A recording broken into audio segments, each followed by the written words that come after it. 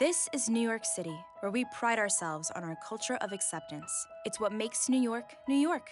Discrimination and bias are not acceptable in our city. If you have faced discrimination in housing, employment, or public places, there is a place you can go to for help the New York City Commission on Human Rights.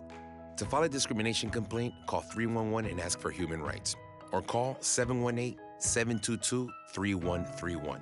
Tell us your concerns. If your situation appears to be covered by the New York City human rights law, we will give you an appointment to come in and discuss the matter in person with one of our attorneys.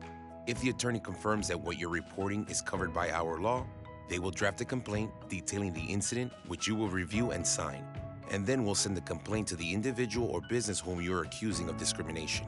In the case, you're the complainant and the accused is the respondent. The respondent typically has 30 days to send an answer in response to the accusations in the complaint. After we receive the respondent's answer, in most cases, the Commission's Law Enforcement Bureau, or LEB, investigates further by taking some of these possible steps informing you of the respondent's position and getting your response, interviewing witnesses, requesting additional documentation, and other possible actions. After the investigation, LEB makes a determination.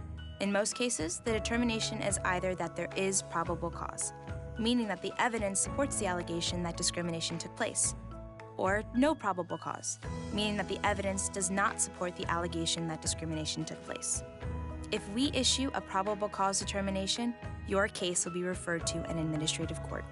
After the trial, the judge issues a report and recommendation, and then the Commission's Office of the Chairperson reviews the judge's report and issues a decision and order regarding liability and what remedies, if any, should be rewarded to the complainant.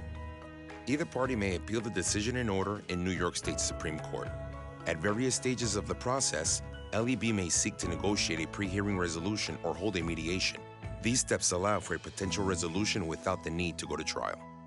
For further detail on any of the steps discussed, please visit nyc.gov/human rights and click on the Enforcement tab. We hope that no one faces discrimination, but if you do, we are here to help.